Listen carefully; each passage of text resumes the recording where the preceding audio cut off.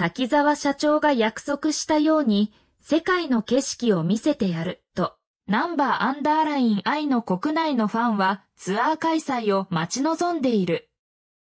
ナンバーアンダーライン I、その名は言わずと知れたエンターテイメント界の新星だ。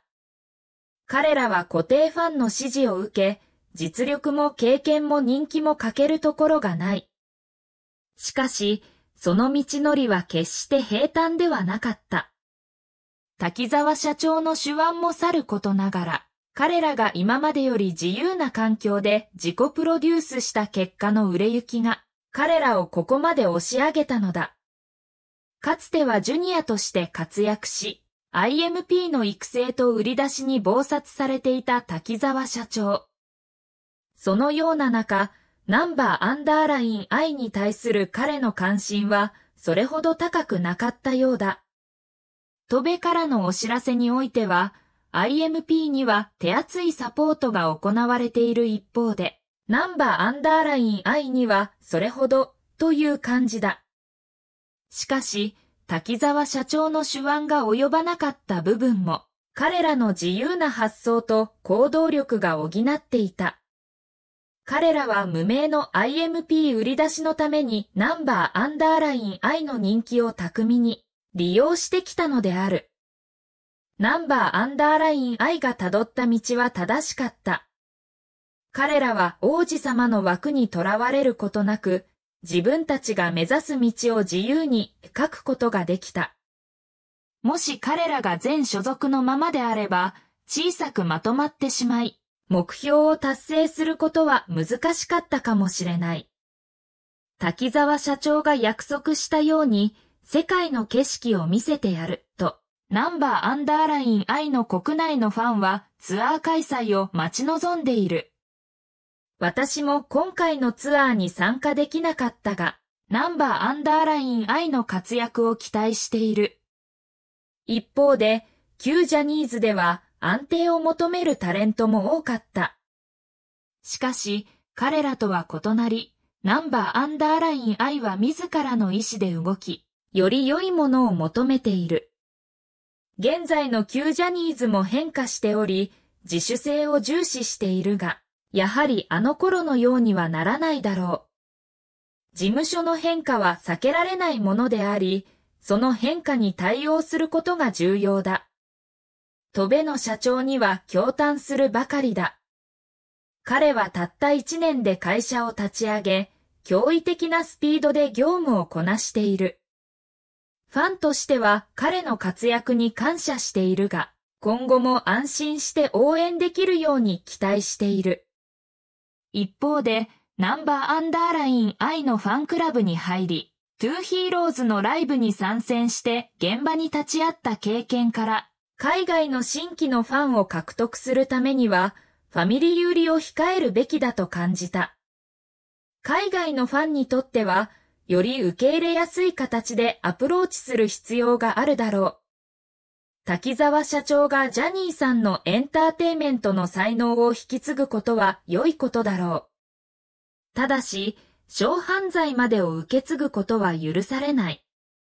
研修生がいるのはどの事務所でも同じだが、若いうちからレッスンを受けて学ぶことは大切だ。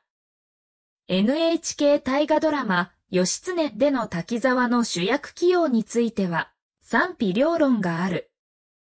しかし、彼が率いる事務所に関しては、所属タレントたちが納得できる活動ができているならば問題はないだろう。ナンバーアンダーライン I の成功は偶然ではない。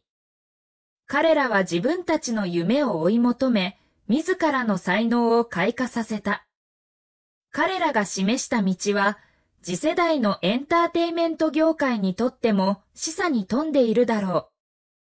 飛べエンターテインメントという名前が聞こえるたびに、私の心には一筋の興奮が走ります。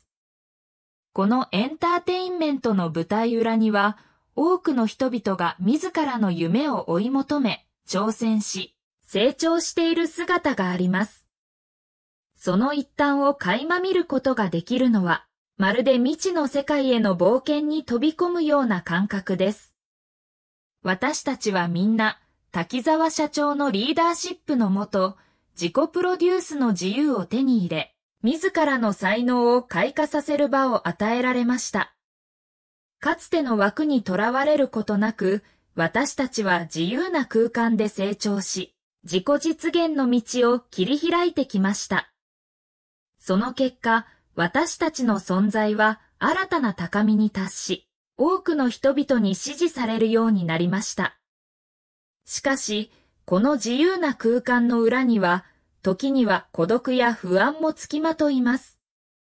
滝沢社長や戸部からのサポートは確かに存在しますが、それでも私たちは時折、孤独な戦いを強いられます。